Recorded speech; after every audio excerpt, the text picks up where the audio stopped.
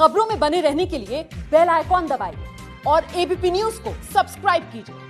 तो ध्यान रखिए 21 दिन बचे हैं लोकसभा चुनाव में और इसके तहत हर कोई हर दाव आजमा रहा है। बेबी चौकीदार कैंपेन के तहत मोदी आज 25 लाख लोगों से बात करने वाले हैं।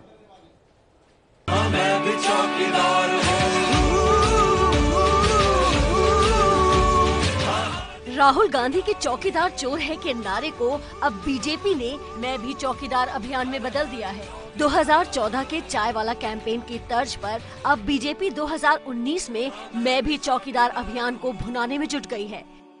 मैं भी चौकीदार हूँ आंदोलन। आज एक बहुत बड़ा जन आंदोलन बन गया है। पीएम मोदी आज मैं भी चौकीदार अभियान से जुड़े करीब 25 लाख लोगों से संवाद करेंगे।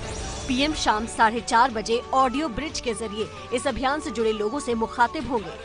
पीएम 31 मार्च को भी वीडियो कॉन्फ्रेंसिंग के ज़रिए 500 जगहों पर अभियान से जुड़े चौकीदारों से बात करेंगे।